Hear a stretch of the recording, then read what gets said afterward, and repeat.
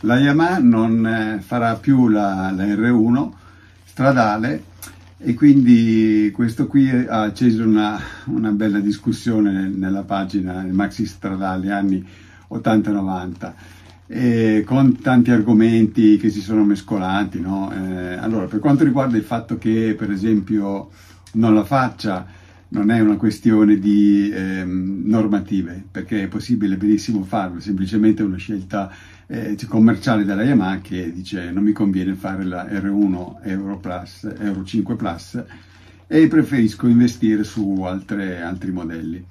Non c'entra l'Europa, non c'entra l'inquinamento, non c'entrano le prestazioni, è semplicemente cambiato il mercato e le grandi case si adeguano la Yamaha non è stata, non è stata la prima. Poi dopo sono venuti fuori tanti discorsi, no? perché non guidiamo più su strada, colpa dei Velox, colpa dei troppi cavalli, colpa dell'elettronica, c'è sempre colpa dell'elettronica. In realtà, ragazzi, eh, tutte queste cose c'erano anche prima. I cavalli li avevano anche le nostre povere moto degli anni 90, cioè non è che fossero delle cariole, no? Quindi i cavalli ce n'erano, erano anche più che abbondanti di quelli di, di allora, quindi non è una questione di, di cavalli. Non è questione di elettronica ovviamente, è solo questione che è cambiato il mercato, sono cambiati i motociclisti, tutto qua. Poi è vero, a questo aggiungiamo il fatto che eh, le moto hanno avuto un'evoluzione importante, cioè se pensi alle moto anni 90 e alle sportive, alle superbike di oggi c'è una bella differenza perché per esempio una moto che mi viene in mente, l'ultima che ho avuto, l'X-Up, eh, si poteva guidare su strada decentemente, cioè era abbastanza confortevole, e aveva una prestazioni, mi sa che erano abbastanza buonine, no? non, non, mancavano certo, e invece oggi sono molto più, più specialistiche, quindi più anche faticose da guidare. Però diciamo che è cambiato il mercato, ecco questo secondo me è proprio il motivo principale. Tra i tanti discorsi che sono saltati fuori c'è il discorso che, al quale io tengo molto, guida in pista e guida su strada. Allora, eh, io faccio solo un, un, un, esempio e poi dopo magari vado nei dettagli.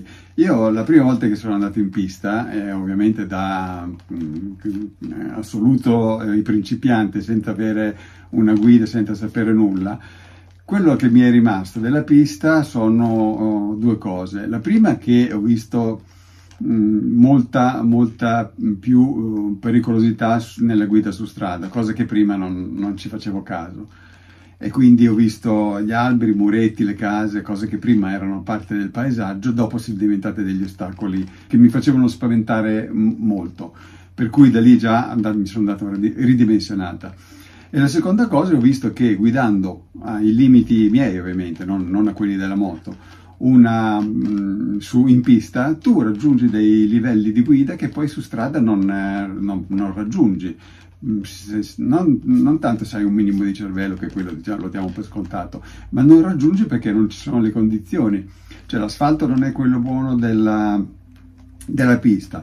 Una curva, anche se tu conosci benissimo tutto un percorso, una curva può cambiare da un giorno all'altro perché è sporca, per, per vari motivi. Se il percorso è nuovo, magari puoi fare, puoi fare due o tre curve belle perché c'è l'asfalto buono e poi magari ti diventa un pezzo di asfalto scivoloso quindi capisci che non puoi fare la staccata, la piega, lasciamo stare poi dopo eh, diciamo, la pericolosità e anche i limiti del codice che ovviamente non ci fanno fare niente. Però non puoi più guidare la moto sportiva come la sai guidare. E allora questo qui per me è stato un po', mm, diciamo, non dico un trauma, però mi ha tolto il gusto di andare con la moto sportiva su strada. Perché faccio un esempio, avevo l'ex-up, allora ero a Bologna, e quindi strade lì per dei motociclisti ci sono, no? basta andare su, sulla futa. E, e lì eh, che cosa? Beh, sulla futa. E lì cosa ho fatto? Eh, sono uscito con questa tuta, tutto casato, quando prendo la mia ex app, poi faccio un po' di strada e dico, eh, vabbè, ma adesso dove vado? Mm, il traffico, le, le cose, l'asfalto, cosa faccio? faccio? Volevo fare una curva, non sono riuscito a fare neanche una curva allora sono tornato a casa, l'ho messa via e lì ho cominciato un po' a vedere la guida su strada in modo, in modo differente. E questa è la cosa che diciamo è importante per, per, per, noi, per i motociclisti. Su strada si va a passeggio, quindi le gare, lascia stare le gare, ma neanche il fatto di, di goderti la moto, non, non, te la godi su strada, parlo ovviamente delle sportive con tanti cavalli. E allora lì eh, personalmente mi sono orientato su, su altre moto, poi vabbè, ho cominciato il mio lavoro di giornalista, quindi ne ho guidate migliaia e quindi non, non esiste più il, il, concetto della guida mh, sportiva su strada, non su strada, vado in pista, non vado in pista. Dopo sono cambiate tante cose. Ecco qua nel video vi mostro eh, questo eh, alternare di eh, guida su strada e guida in pista per mostrarvi quali sono le differenze. Cioè, voi lo sapete, come dico, è un, è una, un concetto molto molto banale, però vedo che ogni tanto viene fuori questa cosa, no? E allora mh, ci tengo a, a, dire la mia su, su, questo, su questa differenza. Adesso vi voglio raccontare una cosa simpatica. Allora, questo ho messo la tuta perché, prima di tutto, eh, l'argomento si è stato sviluppato nelle, nel, nella pagina del Maxi Stradali anni 80-90 e questa è stata la mia prima tuta anni 90 e quindi ci tenevo a farmi vedere con questa. E poi l'altra cosa è che è la tuta con la quale sono entrato in pista per la prima volta e adesso vi racconto un pochettino perché fa anche ridere, cioè fa molto, secondo me fa, ridere, fa molto ridere, vabbè. Allora, avete visto che vi ho raccontato le mie avventure africane, no? Io sono partito con, eh, non, non, dico il fuoristrada perché non, non è fuoristrada, però con diciamo, i viaggi avventurosi e ne ho fatti due in Africa, uno l'ho raccontato, l'altro lo racconterò più avanti, che è quello più bello dove abbiamo fatto un bel po' di, di, di piste eh, con la sabbia. E dopodiché, dopo questa mia parentesi africana, ho comprato una GPZ 900R usata, perché poi io ho comprato, a parte la prima moto eh, che ho preso, le ho prese poi sempre usate, che insomma secondo me vale la pena, ho preso una GPZ 900 e con questa, dopo aver girato un pochettino su, su strada, ho deciso di andare in pista. Avendo la fortuna di abitare a Pesaro o Misano a 10 km, quindi figuriamoci quanto ci voleva, io mi infilavo la tuta, andavo, giravo e poi tornavo a casa. Prima di andare in pista con la mia GPZ eh, e i miei amici pesaresi, tra cui cioè, Giampiero Gadani, il concessionario, il famoso concessionario di Pesaro, abbiamo fatto dei bei giri no, qua attorno, perché con quelle moto all'epoca si facevano quei giri lì. Erano le prime maxi da oltre 2,50, quindi caspita c'era una bella, una bella grinta da mettere insomma, su strada. Noi ci divertivamo molto, andavamo, insomma, non dico forte, però insomma, vedevamo il mondo brillante, abbiamo già stracciato i jeans, ci piaceva tanto. E, insomma, avevamo questo, questo, concetto qui. Poi dopo, come vi dico, eh, sono andato in pista, ho cambiato il concetto e dopo sono cambiate anche tante altre cose, però eh, c'è stato il periodo, quello che voglio dire, che c'è stato il periodo della strada e il periodo della pista.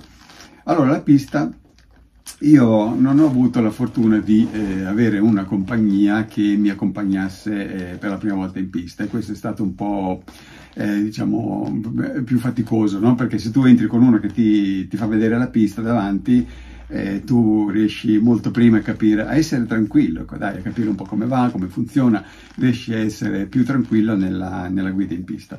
Andando da solo, tu boh, eh, dici vai dici che ne so, come funziona qui, come non funziona. Ecco, a questo proposito, se volete andare in pista, cosa che io vi consiglio se avete una sportiva e non siete mai andati, fate un corso di guida perché non è solo più sicuro, ma vi risparmia tutta l'ansia del primo, del primo tempo, primi, delle prime uscite che insomma vi dico è abbastanza, è abbastanza interessante. Allora, primo giorno che vado in pista, fa ridere, anzi prima curva il carro a Misano. Allora vado nei box avevo la fortuna di eh, essere assistito diciamo, con, eh, da un mio amico pilota, Giumbo, Massimo Giumbini, che mi dava tutte le dritte, no? Devi fare così, devi fare cos'ha, come, come freni, come quanto gas devi dare, molto. Come, insomma, mi dava un po' tutte le dritte, però lui non avendo la moto non mi poteva accompagnare, no? Quindi lui mi diceva tutte queste cose, io ascoltavo e poi entravo in pista e boh, vedevo come, come girare, no? E giravo un po' ovviamente da turista, no? In pista le prime volte da solo dove vai? anche le seconde, eh? non è che poi c'è stato... Anzi, voglio puntualizzare che io parlo della pista, ma non mi sento un pilota, non sono un pilota, sono una persona, un motociclista normale che, a quale piace andare in pista e piace arrivare al limite. Ovviamente parlo del limite mio, non quello della moto, perché al limite della moto ci arrivano i piloti. E quindi eh, c'è questa bella differenza. Non voglio, mh, mm, voglio raccontarvi questa cosa da motociclista normale, ecco, non, non da pilota, questo è importante. Allora, vabbè, eh, torniamo alla nostra prima curva. Io arrivo ai box, parcheggio, vado sul muretto e vedo che, che sfrecciano davanti chiaramente ai box di Misano tutti questi assatanati no? e ai 200 boh, boh, boh. e ho detto madonna io devo andare dentro con questi quando tu vai lì che è la prima volta che non sai niente è un po' è un po' eh, cosa posso dire emozionante ma spaventa sta cosa no? perché dici vai dentro dici dove vado a finire con sta roba allora qual è stato cosa è stato il bello di, di, questo, di tutto questo giro che ehm, quando vai dentro la velocità eh, non è esattamente quella eh, che tu vedi dai box fermo, perché tu cammini, quindi è chiaro che ti passano quelli più veloci, però non è che ti passano i 200 e tu sei fermo, ti passano a una velocità decente per cui sei un pochettino più tranquillo. Insomma, vabbè, vi dico dalla prima curva, esco dai box, fai la 1, poi dopo c'è questo famoso carro. Qual è la differenza eh, eh tra eh, la pista, poi soprattutto quella di allora, e la strada, che la strada tu vedi bene come è fatta, no? Perché, a parte magari lo conosci, però vedi bene, ci sono i muretti, ci sono gli alberi, ci sono delle macchine, cioè c'è tanta roba che ti fa capire molto bene come è fatta la, la strada, come, come, come, devi curvare in sostanza. Invece nel circuito, soprattutto a Misano, le prime volte che c'era solo un cordolino, che adesso mi sembra di ricordarlo così, e ehm, tutta questa sensazione della curva io non, non, non l'ho avuta, no? mi sembrava di, di, andare quasi dritto, o, o, fare una curva molto larga o di andare quasi dritto. Allora arrivo al carro tutto felice e quando sono lì mi accorgo che c'era la curva, no? quindi frena, frena, fai sta curva, sta curva, tutto sudato. Insomma, quello è stato il primo, il primo concetto. È interessante notare che... Eh, anche Mario Lega ha avuto questo, diciamo, non, non problema, però questa difficoltà iniziale a capire come voltava il circuito perché eh, quando è nato nel 72 Misano era una novità, un circuito così fatto in quel modo, perché loro fino, fino a un pochi anni prima mm, guidavano certo in alcuni circuiti, ma soprattutto si correva nei, mm, nei tracciati cittadini, no? quindi con tutte quelle cose terribili che ci sono in città, i muretti, le case, i pali, i pali della luce, i marciapiedi, no? Che però ti facevano capire com'era la, la curva. No? Invece entrato lì in pista le prime volte, forse non, magari non c'era neanche il cordolo, questo non te lo so dire, era il 72 quando l'hanno costruita, e loro facevano fatica a capire come, come girava questa curva. Allora pensate che per eh, far vedere un po' come era fatta, gli hanno messo proprio i birilli, quelli della, che si mettono su strada. E quindi andavano dentro e insomma così riuscivano a capire, poi chiaramente col tempo eh, ha preso un po' la mano, diciamo, ecco, penso che insomma adesso giri abbastanza bene. E, altra cosa interessante è che era difficile capire i tempi, no? Perché tu entravi dentro, prendevi dei tempi e dici com'è? Boh, non si sa. Dopo è chiaro che col passare dei mesi, degli anni, con le prove, si è sistemato tutto, però interessante capire questo approccio iniziale con, con la pista.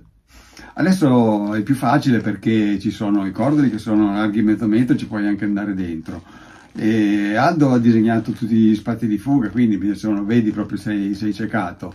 Se vai fuori gli spazi di fuga, capirai, fai un pezzo di, di asfalto, poi torni dentro, quindi siamo un, po', un pochettino più tranquilli.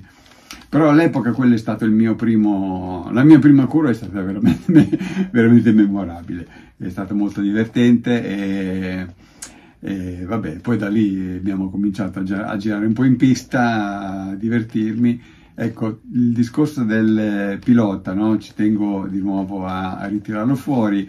Ehm, io considero la pista come il posto più bello per guidare una moto che deve essere sportiva e deve avere oggi per me tutti i cavalli che, che esistono sul mercato, quindi vengano oltre 200 e l'elettronica. Quello secondo me è il massimo della moto oggi che poi il limite della moto sia qua, il mio sia qui, e quello è evidente perché eh, insomma i, i, piloti arrivano, arrivano lì, no? quindi io non, non, ci arrivo. Ma questo non importa, non importa perché mh, quello che ti dà arrivando al tuo, li, al tuo limite è già, è già tantissimo ed è una cosa straordinaria. Tolto questo, con l'esperienza che ho fatto di guida nel in questi anni di, diciamo, di, di, giornalismo mi si è anche un po' aperta la mente, nel senso che non vedo più uh, la moto in questo modo qua, eh, diciamo esageratamente, mh, mm, cosa posso dire, spinto, no? Ma la vedo a um, molto più ampio, quindi mi posso divertire, andare in giro con una 350 da, da 20 cavalli, come eh, con una Street Fighter eh, da, da 208. Concludo con una nota di, eh, che, che mi, con una cosa che mi disse Carlo Talamo tanti anni fa, lui comunque era abituato a guidare, guidare le moto, insomma aveva una bella esperienza, eh, quindi in moto ci andava sul serio. E ha detto una delle cose più divertenti che ha fatto è stata un, una riedizione di una eh, gara storica, non so fosse la miglia miglia, non so che cosa, però lui ha preso una moto dell'epoca, di quelle da 125, 100, 250, da boh, 12 cavalli, 9 cavalli, non so quanti ne avessi, ha detto che è stata la giornata per lui più divertente e più bella in moto che, che abbia mai, mai, vissuto. E penso che abbia ragione, non, non c'entrano le prestazioni, non c'entra, nulla, c'entra quello che tu riesci a ricavare da questa esperienza, esperienza in moto. Ciao, prossima volta aspetta cosa facciamo? Uh, prossima volta facciamo la... Um, abbiamo parlato della BMW HB2 Sport che vedo che ha suscitato un po' di interesse, vi piace, vi è piaciuta e lì c'è da raccontare, beh, anche non solo la moto ma il concetto di quella moto. E poi rimane quel viaggio in Africa vero e quello lì mettetevi con i panini che quello sarà bello lungo. È un'esperienza fantastica e vabbè dai ve la voglio raccontare, mi voglio già adesso, però dopo sarebbe troppo lungo. Cioè ci vediamo i prossimi giorni.